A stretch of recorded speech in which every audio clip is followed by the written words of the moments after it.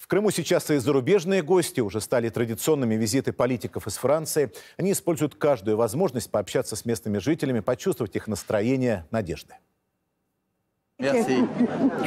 Так приятно, что вы приехали к нам. Так, так замечательно. Они понимают друг друга без переводчика. Политики из Франции за время визитов на полуостров неплохо освоили разговорный русский, а некоторые крымчане даже вспомнили школьный курс французского языка. Меня зовут Ирен, я живу в Ялте. Вы любите съезда? Обожаю. Молодцы, что вы имеете смелость, мужество приезжать к нам. Такие встречи для иностранной делегации, пожалуй, один из самых важных пунктов программе. Общение с людьми продолжилось и в Севастополе.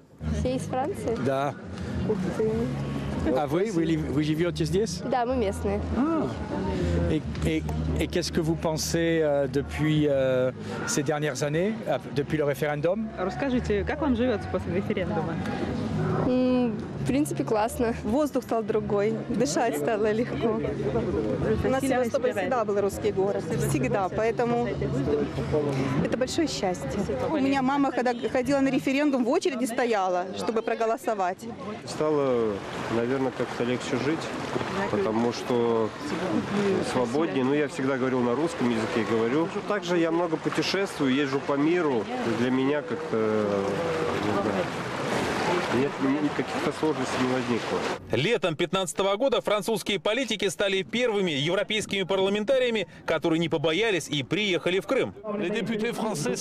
Французские депутаты – свободные люди, и поэтому мы можем позволить себе приехать в Крым. В конце концов, пять лет назад здесь произошло свободное волеизъявление народа. Люди проголосовали за то, чтобы вернуться в Россию. И мы, как депутаты, имеем право, уважая это решение, приехать и поздравить крымчан с этим праздником. Это уже третья поездка французской делегации. Перемены на полуострове глава миссии влиятельный французский политик Тири Мариани назвал настоящим прорывом. Пейзажи не изменились, но видно, что в самом Крыму происходят изменения. Он как будто просыпается. Мы повсюду видим новые дороги, новое оборудование, понимаем, что полуостров развивается. Их вполне можно назвать парламентерами Крыма в Европе. Своим коллегам они рассказывают, что дела на полуострове обстоят вовсе не так, как их представляет западная пресса. Со своей стороны предлагают сотрудничество по нескольким направлениям. Это и туризм, развитие транспорта, зеленая энергетика и, конечно, виноделие. Гости из Франции признаются, что здесь, в Ялте, они чувствуют себя как дома. Это действительно так.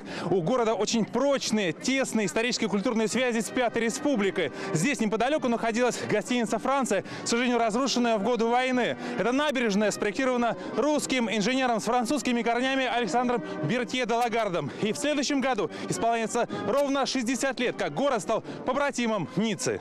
Алексей Иванов, Валентин Стуканок, Игорь Федоренко, Анна Заекина, Южное бюро Первого канала, Крым.